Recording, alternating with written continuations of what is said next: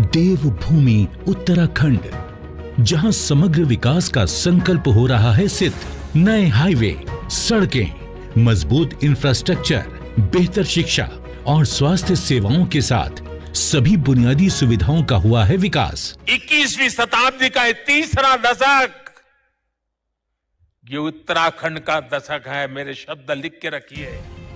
प्रधानमंत्री श्री नरेंद्र मोदी जी के दूरदर्शी नेतृत्व और मुख्यमंत्री पुष्कर सिंह धामी के निरंतर प्रयासों ने राज्य में चहुमुखी विकास को संभव किया है।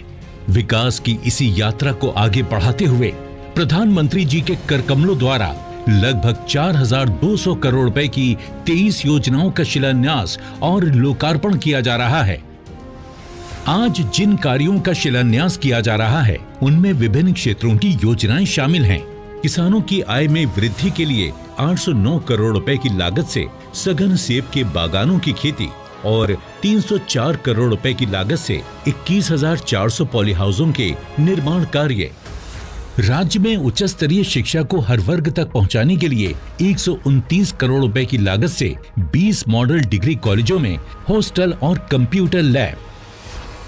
पर्वतीय क्षेत्रों में लोगों को उच्चतम स्वास्थ्य सेवाएँ पहुँचाने के लिए तिरपन करोड़ रुपए की लागत से अल्मोड़ा के सोमेश्वर में 100 बेड का सब डिस्ट्रिक्ट अस्पताल और चंपावत में 50 बेड का हॉस्पिटल ब्लॉक।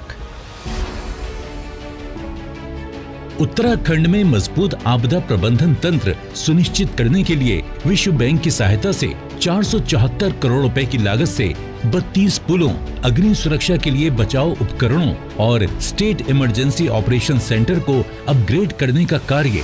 178 करोड़ रुपए की लागत से नैनीताल के बलिया नाला में भूस्खलन की रोकथाम हेतु उपचार कार्य। राज्य में खेल कूद को बढ़ावा देने के लिए 42 करोड़ रुपए की लागत से रुद्रपुर में वेलोड्रोम और हल्द्वानी में एस्ट्रोटर्फ हॉकी ग्राउंड।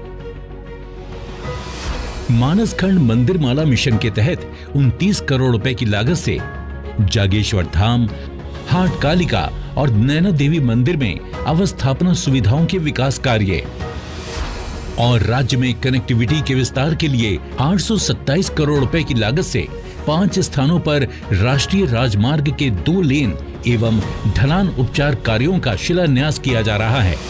आज प्रधानमंत्री जी के कर कमलों द्वारा 10 विकास कार्यों का लोकार्पण किया जा रहा है। तीन सौ करोड़ रुपए की लागत से पाँच अलग अलग स्थानों पर सड़क सुदृढ़ीकरण और राष्ट्रीय राजमार्गों के दो लेन कार्य, जिससे कुमाऊं क्षेत्र में पर्यटन और आर्थिक विकास के नए रास्ते खुलेंगे।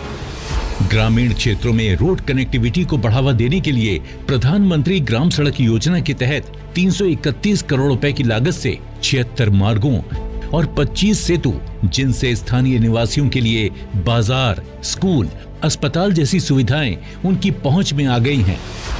ग्रामीण विकास को गति देने के लिए 35 करोड़ की लागत से नौ जिलों में 15 ब्लॉक ऑफ़िस भवनों का निर्माण कार्य।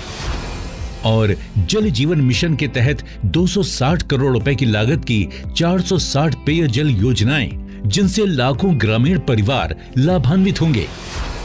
आपदा प्रबंधन के लिए विश्व बैंक की सहायता से प्रदेश के विभिन्न जनपदों में 214 करोड़ रुपए की लागत से उनतालीस पुलों एवं देहरादून में Uttarakhand state disaster management authority के नए भवन। पिथौरागढ़ में 32 करोड़ रुपए की लागत से निर्मित आर्टिफिशियल लेक, जो किसानों के लिए सिंचाई में बेहद सहायक होगी। और विद्युत आपूर्ति में गुणात्मक सुधार के लिए बयासी करोड़ रुपए की लागत से 132 kilowatt Pithoragarh Lohaghat Champawat transmission line का लोकार्पण हो रहा है। इन सभी योजनाओं के साथ उत्तराखंड की विकास यात्रा में जुड़ रहा है एक नया अध्याय।